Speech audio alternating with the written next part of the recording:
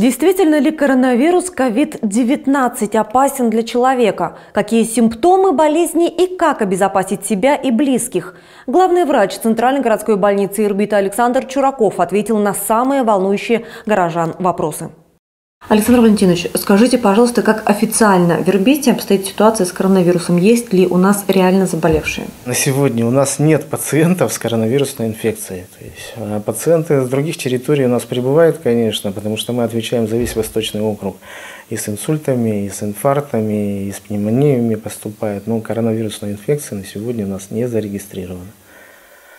Пациентов мы принимаем, лечим, отправляем домой. Как бы, ну и не более того. А те люди, которые находятся на карантине, которые прибыли из зарубежных стран, как с ними обстоят дела, как э, их наблюдают? Значит, те, кто прибыли из-за границы, э, находятся на карантине 14 дней, э, значит, должны находиться они дома. Мы берем у них биологический материал, мазки берем и отправляем в Екатеринбург для проведения анализов.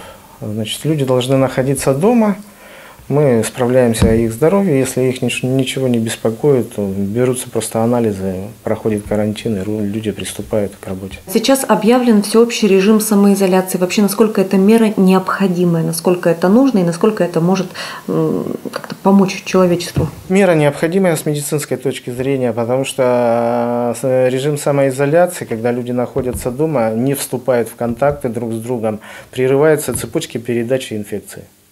Вот главная цель вот этого всего – это прервать цепочки передачи инфекции. Поэтому мы ратуем только за то, чтобы люди находились дома ответственно, а, минимизировали свои контакты э, с другими людьми, переждав, ну, грубо говоря, переждав вот этот момент, 14 дней, я думаю, что на этом потихонечку все и закончится. Ну, если минимизировать контакты, то и грипп, и ОРВИ тоже пойдет на спад.